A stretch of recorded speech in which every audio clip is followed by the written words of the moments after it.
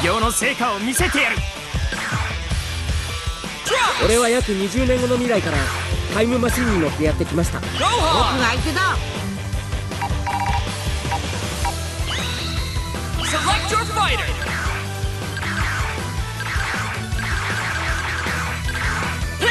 地球を。なめるなよ俺は強さの先にあるものを求めている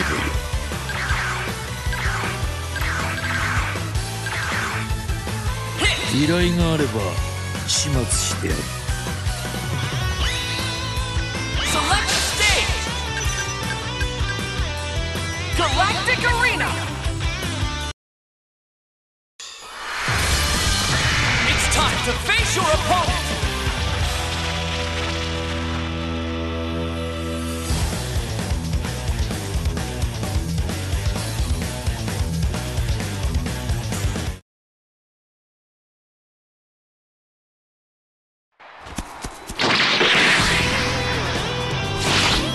コロ手合わせ頼むぜ。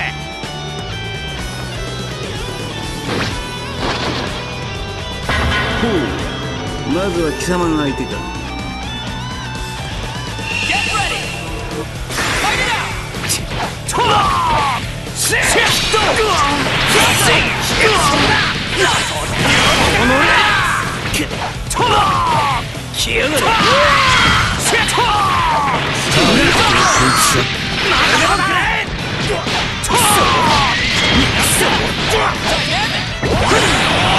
バ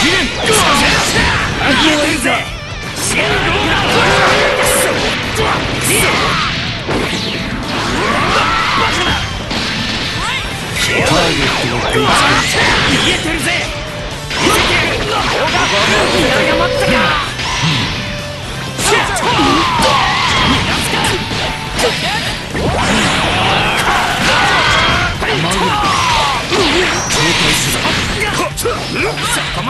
ということはない。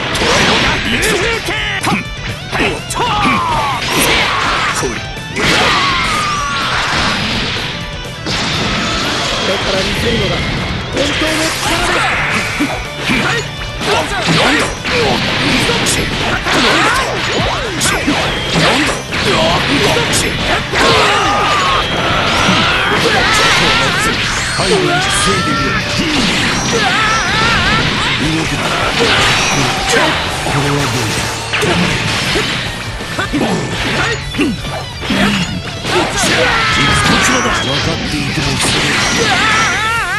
めを刺すのは俺だ？止まれ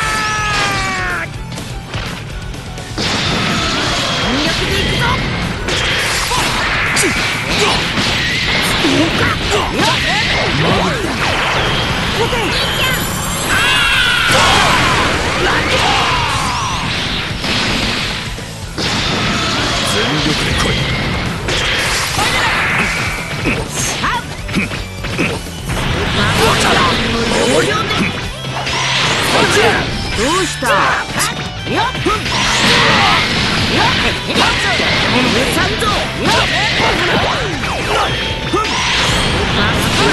俺が行く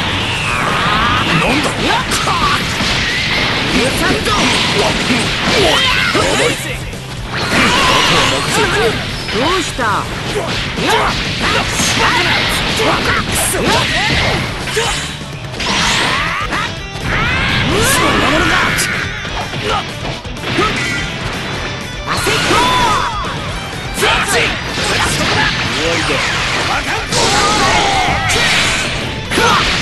許さん。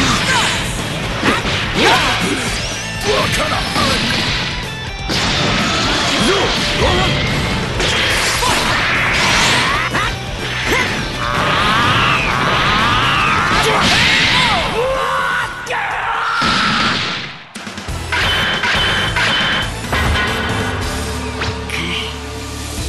戦いの勘が鈍ってんな大人になって一緒に戦うなんてなんだか不思議な感じですね。